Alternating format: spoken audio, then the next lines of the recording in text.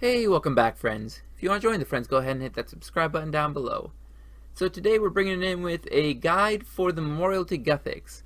Honestly, I'm doing this just because I have the maximum amount of memory strands and it's starting to annoy me having the pop-ups every single time that it tries to give me some more memory strands saying, hey, you better go do this. So what I did is I bought all of these energies here. This is the amount that you need of every single energy to complete this three times. I believe three times is the maximum amount you need to get the rewards.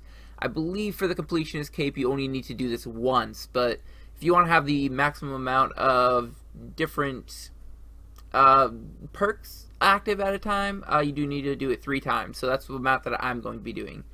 For that, you are going to need 9,576 of these memory strands. That's a little bit deceptive. You actually only need 8,576 because you actually get a thousand for completing it the first time. And if you're doing this while you are going, uh, the first one only costs you 2,280, and then it gives you a 10% increase to the amount of memory strands that you're actually going to be gaining. So keep that in mind. If you are doing this as you go, it will be a little bit faster than the way I did it. I personally was just AFKing some uh, Divine-O-Matic and making a little bit of money and happened to have 10,000 strands. So I'm going to be using 8,576 strands, uh, but you may vary depending on what divination level you are, because you do get some extra for certain divination levels. But the energies that you need are going to be 2,100 pale energies, 1,680 flickering energies, 1,890 bright energies, 2,100 glowing energies, 1,680 sparkling energies, 1,470 gleaming energies, 2,100 vibrant energies, 1,260 lustrous energy, 1,050 brilliant energy, 1,260 radiant energy, 1,050 luminous energy, and only 630 incandescent energies. Now, the first thing I would recommend doing is not keeping these in your inventory the entire time while you're doing this, because there is one of the engrams that you have to collect that is going to be in the wilderness. So I'm going to go ahead and deposit all these into my bank, that way I don't have to risk them when I run into the wilderness, and I'm going to go ahead and show you where to get all the engrams. The first one is automatically obtained when you first start this up, and you will get Naragi here. The second engram is actually going to be on the Void Knight Outpost. Uh, you're going to want to go underneath this little canvas here. You can see the Elder Sword engram on this little barrel. Uh, it is on the southeastern end of the Void Knight Island. The third engram is going to be at the Sword of the Edict, and it is the Sword of Edict's engram. Now this is found in the wilderness. It is just barely north of the wilderness lodestone, so just go ahead and run north into the wilderness volcano and you should be able to find this. Be aware, this is in the wilderness, so there is a chance of getting PK'd while doing this. So make sure you have a teleport out. I'm currently just using my max guild cape. Uh, that's probably not the best teleport out, but it is in the wilderness. Be aware, you can die in the wilderness. The third engram is going to be a little bit south of Juna here for the Tears of Guthix. As you see, there's a little sparkle here. The fastest way of getting to the Tears of Guthix is to just use a games necklace. Uh, there is a teleport directly to the Tears of Guthix and collect this third engram, or fourth one really. The next engram is found by the World Gate here. It's in between the two rocks just north of it you will collect the Ward World Gate engram here. Uh, fastest way to get here is the Sixth Age Circuit teleport to the World Gate. The next engram is going to be found on this prayer altar in Burthorpe. Uh, fastest way is probably going to be just teleporting to the lodestone and collecting it from there. You get the Druid engram. The next engram is actually a little bit tricky. Uh, so we're going to be just east of the Falador lodestone right here. Uh, and you want to come to this gathering of rocks, and you actually have to lower your camera angle down a little bit, and it's inside of one of these rocks, so they hit this one pretty well, so make sure you're gathering the balanced one as well.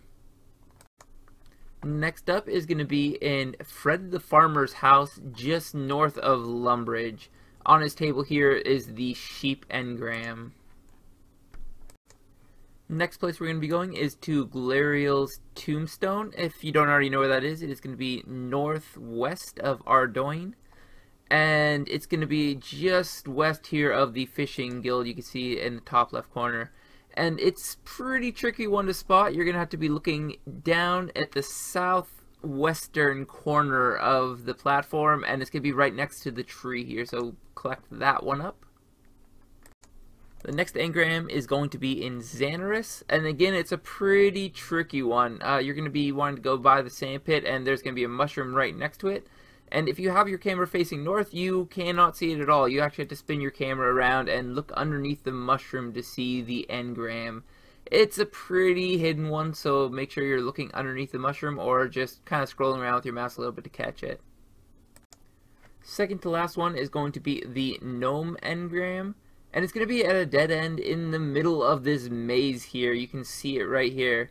Uh, and honestly, it's kind of hard to get to that point, so what we're going to do is just run north of the Yanille Lodestone and just get to the south end of this maze here, and just click on the gnome engram, and it will run you all around until you actually get to it.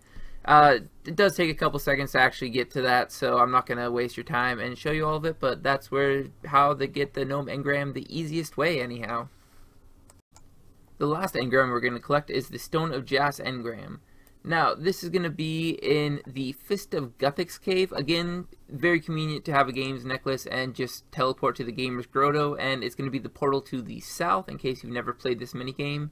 I know a majority of people probably haven't uh, and it's going to be on the top shelf of the rewards guys stand showing all the rewards off. So just go ahead and click on that and collect the last engram.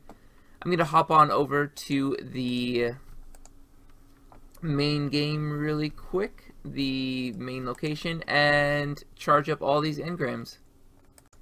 Okay, so I just offered the majority of them, but I have one left here and I want to show you the process of doing that. All you do is left click on it and then you will charge the engram. It will use some of your memory strands as well as whatever energy it says it needs. And then you just use it on the fountain of energy and there we go. That will complete my first prestige. Next thing you're going to want to do is actually to prestige if you're going for additional tiers of this. If you are not going for the additional tiers, you can just direct the Fountain of Energy and get whatever bonus you actually want. But what I'm going to be doing is prestiging, and then I will be able to get additional divination experience from all of these memory strands here. And I will be able to unlock an additional Echo Plink, basically. So that means that I can actually direct it and have multiple different perks available at the end of this. Uh, there is one engram that I did not show you obviously because I just got it for free the first time and I will show you that and then the rest of them are all going to be the same. Starting with your second prestige you are going to have to be gathering this engram as well and you are going to be going to Naragun. Uh, basically, the only way of actually getting here that I know of is with the fairy ring. All you do is go to fairy ring AIS. I'll be sending you right here. You run north a little bit, and then you are going to want to run west. Now, this does require at least partial completion of the world's wake, the world wakes quest. So keep that in mind. You do not want to prestige unless you actually have that available and then all you do is collect the engram here. Okay, so coming in with the second prestige, one thing I do want to mention is I would recommend going for the Sword of Edict engram, the one that's in the Wilderness first, because I got PK'd while going to that, which was really stupid, I wasn't risking anything. But somebody decided to kill me anyway, and I lost all my engrams, so I had to go back and get all the engrams that I already gathered. Uh, I do want to show you that you do get a decent amount of divination experience from this. 206,000. Uh, I also want to mention if you direct it, you can uh, basically have a lot of extra perks. Uh, I will be going over all those perks in a different video, but for right now, we are going to be prestiging again and getting one last prestige before finishing up this video. Just finishing up the third and final time that I plan on getting these engrams. And let's go ahead and use them on the Fountain of Energy again and get another over 200,000 divination experience, so pretty nice. Uh, on top of that, I am planning on uh, getting my four passive effects. I believe I do have to prestige one last time to actually uh, be able to redirect it to four locations. There we go. I have finished up all three levels of prestige by doing that and then prestige the last time in order to make it so I can have four passive effects that means I am basically done with this mini game. So pretty nice. I don't plan on coming back to this again. Uh, just plan on basically once you're finished up with it, you can turn these memory strands into Orla somehow. As far as what I was reading, uh, you can do that at any time past the first prestige. Uh, let's see if they have anything else for me not 100% sure how you can actually turn these in. Oh! Gain XP from butterflies, whatever. Uh, apparently you can turn these in for divination experience. We'll figure out how to do that later in the future. Hopefully you guys all enjoy and this helps somebody out to complete this event. If you guys do all enjoy, I'd love it if you leave a like down below, leave a comment, and also subscribe to my channel so you can see all my future content. As always though, have a good one.